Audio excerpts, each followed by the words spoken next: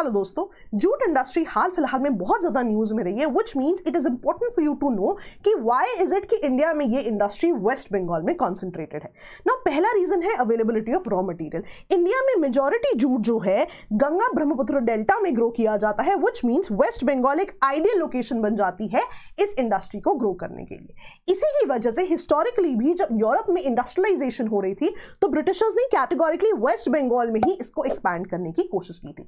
तीसरा रीजन है market availability तो शुगर इंडस्ट्री यूपी बिहार में बहुत ज़्यादा जो है ग्रो करी हुई है और सरकार ने कहा भी है कि यहाँ पे पैकेजिंग में जूट बैग्स यूज़ होंगे। यानी कि वेस्ट बंगाल में जूट बैग्स बन के यूपी और बिहार में ही जो है यूज़ हो जाते हैं। एंड लास्ट रीजन है ट्रांसपोर्टेशन हुगली रिवर को इसकी ट्रांसपोर्टेशन के लिए यूज़ किया जा सकता है। नॉट ओनली दिस इसकी वॉशिंग डाइंग के लिए भी यहाँ का पानी जो है यूज़ किया जा सकता है।